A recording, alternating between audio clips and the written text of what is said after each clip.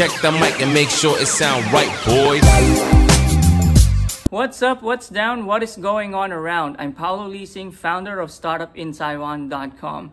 This show is to answer your questions about starting up in Taiwan, either for business, school, or just hanging around. So leave your questions in the comments section below. We are starting a new segment, and by we, I mean just me giving you some news and insights about the hottest topics for foreigners here in Taiwan. And because it's month of May, it's tax filing season, so here are the things that you need to remember. The government of Taiwan has extended the filing of taxes for personal, business, and real estate to avoid the surge of people at tax offices, especially now that we are experiencing a surge in the number of COVID cases in Taiwan. Number two, for business owners, you need to file taxes every two months, starting from January, March, May, July, and so on. But for individuals, you only need to do filing of taxes once a year, and that is every May. It's extended until June 30th, according to the Ministry of Finance. Number three,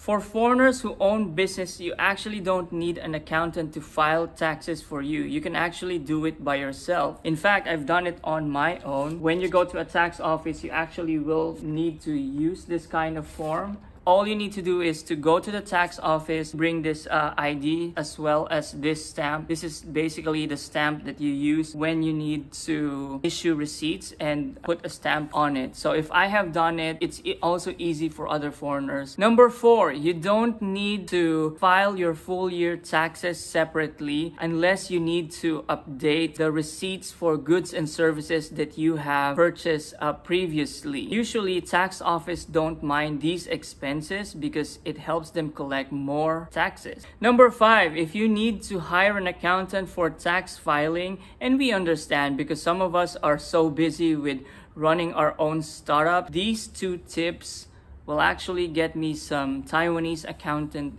enemies. Most of them will actually charge you for filing taxes on a monthly basis, but they only file your taxes every two months. Now, I'll give you two seconds to think about it right? And here's another thing. Most of them will charge you for filing taxes every month and one extra month for quote unquote full year tax filing. Now, if you have noted in my previous point that you don't need to file full year tax unless you need to update your expense receipts, why are accountants charging the 13 month tax filing? Think about it for two seconds.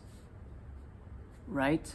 The going rate for accountants for filing taxes is 3000 per month. If you get someone who charges lower, then that is so okay. And if you get someone who charges higher, it means they're taking advantage of your lack of research and this is why we have this channel. You're welcome. That's it for today's episode. If you have any topics that you need me to break down, just leave it in the comment section below. Please do subscribe to my channel if you haven't done any and I'll see you again next week. Think about it. You're welcome. Check the mic and make sure it sound right, boys.